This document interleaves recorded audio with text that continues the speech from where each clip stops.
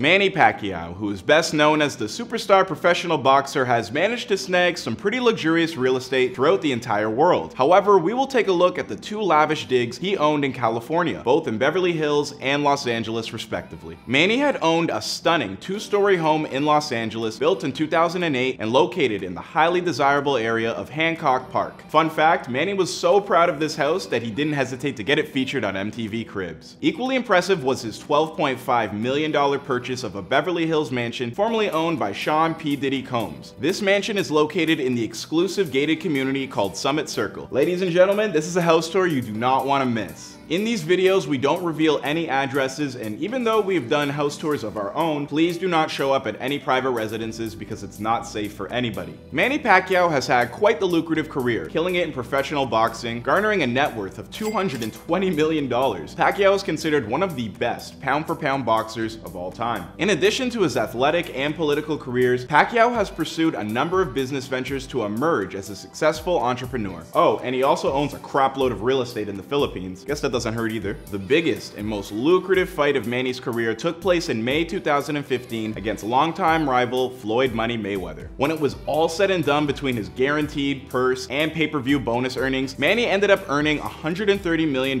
from one fight. During his career, he's earned at least $500 million from fights and endorsements. Not too shabby when you've cleared half a billion dollars in career earnings. I mean, boy is getting paid. Pacquiao became a household name in boxing. In fact, from 2008 to 2016, he never earned less than $10 million for a fight. To date, approximately 20 million people have purchased pay-per-views for Pacquiao's events. The sum of his 25 pay-per-view bouts equates to approximately $1.3 billion in revenue. In 2015, he was the second highest paid athlete in the entire world. So needless to say, Manny will never have to worry about money again. When you're making the type of bank that Manny has, it was only a matter of time before he started adding real estate to his portfolio. And because during his career, he has owned as many as seven homes in the world that we know about, we're gonna take a look at his American homes. What's going on guys? It's Clyde Smith, and today we are bringing you another house tour right here on Famous Entertainment. Now, I did notice about 95% of you watching aren't subscribed, so please be sure to subscribe because we post a new video daily. If you like these videos, ring that bell for notifications, follow me on Instagram to chat, and as per usual, let me know which house tour is next down in those comments. Alright, let's get into this video.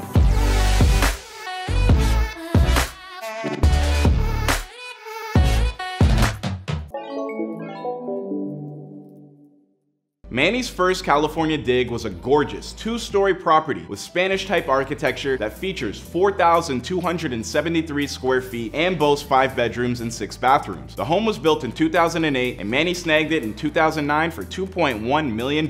Located in the highly desirable area of Hancock Park, this home is famously featured on an episode of MTV Cribs. The property features a luxurious entry with 22-foot high ceilings and a grand staircase with framed family photos soaring below the balcony. Steps from the grand entry lead to Manny's home office and trophy room, decked out with his career achievements. We're willing to bet that Manny negotiated a fight or two in there. Manny's dining room table features a profusion of custom fixtures and fittings, an elegant chandelier and cozy fireplace. The living room is decked out with a wealth of lavish furnishings, yet another fireplace, and a massive flat screen television hovering above. Manny's dig features an extravagant kitchen with grand Caesarstone aisle, perfectly centered in the room. Miele and Bosch appliances, a floating glass hood, hood, and a built-in coffee bar. In addition, the kitchen features a butler's pantry with more room than you know what to do with. Manny's spot features a spacious master bedroom that comes complete with, you guessed it, another elegant fireplace, a walk-in closet the size of a boxing ring, and a balcony overlooking the pool. The master bathroom is both elegant and modern, that it features a his and hers sinks, large soaking tub that boasts terrific views, and a large standing glass shower. As glamorous as the interior of the home is, the backyard is pretty dope. The backyard features a beautiful pool and spa with amazing fire and waterfall features. In addition, the backyard comes complete with a jacuzzi, outdoor barbecue, lounging area, and fireplace, perfect for relaxation. In the heat of Manny Pacquiao's career, he made a huge splash on the real estate market with a $12.5 million purchase for a Beverly Hills mansion. Fun fact, it was rumored that Pacquiao also slipped the seller four tickets for the fight against Floyd Mayweather Jr., valued at $7,500 apiece. In addition, the home was formerly owned by Sean P. Diddy Combs. This mansion is located in the exclusive gated community called Summit Circle. The home spans a whopping 10,000 square feet and boasts 7 bedrooms and 8 bathrooms, with a bright interior and beautiful backyard with stunning views of Beverly Hills. The dig comes with a list full of impressive amenities, including a circular motor court with a lighted water fountain, a home theater big enough for 20 people, and an advanced security system which can be accessed through mobile devices. Now, it is estimated that the home theater is reportedly priced at $200,000 and features a bar for those of you that get thirsty. Pacquiao's new place features a stunning two-story grand entrance with sweeping staircase and an elegant chandelier. Whether you are in the entrance or many of the other rooms, the home features shiny marble floors, ritzy design details, and sparkling chandeliers throughout. On the main floor, there are a cluster of large glass sliding doors which lead to the stunning backyard, but we'll get to the backyard in just a minute. The seven bedroom Mediterranean style estate is decked out with luxury, including a formal living room with a wealth of lavish furnishings, a cozy fireplace, and an abundance of oversized